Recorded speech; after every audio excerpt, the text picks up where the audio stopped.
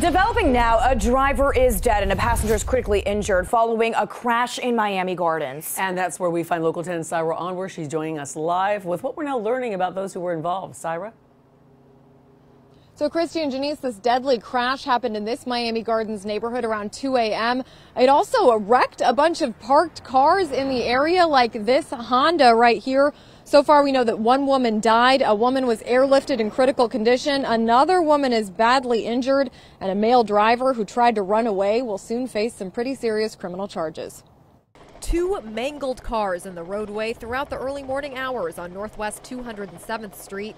One woman died. Very tragic, very tragic. Bernard Thomas has lived in this Miami Gardens neighborhood for more than three decades. His red truck, one of several vehicles parked on the street, totaled in the deadly 2 a.m. crash. My neighbor woke me up and told me there's an accident outside because I have a couple of cars outside. And when I came out, I saw all the cars being damaged and there was a lady in the street. Miami Gardens police say there were two women in this silver Kia Optima. The woman driving died. Her sister, who was in the passenger seat, was ejected and airlifted to a hospital in critical condition.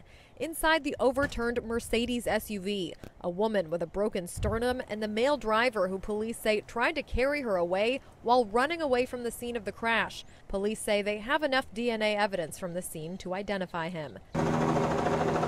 Sky 10 above the neighborhood near Hard Rock Stadium and Robert Renick High School. Police investigating throughout the morning. The cars are towed away before 10 a.m. Police say speeding through the residential area likely played a big role in this crash. Bernard Thomas says he's not surprised. I knew something was going to happen seriously around here because all the cars that come up the small block, they be doing sometime 80, 90 miles per hour, and it's not the end of it. It's going to keep on going until something be done around here. Cars you can always replace, but you know, have somebody get killed, you know, for what? So police have not yet released the names of anyone involved. They also haven't listed the criminal charges that the driver of that Mercedes will soon be facing. That is the very latest live in Miami Gardens. Saira Anwer, Local 10 News.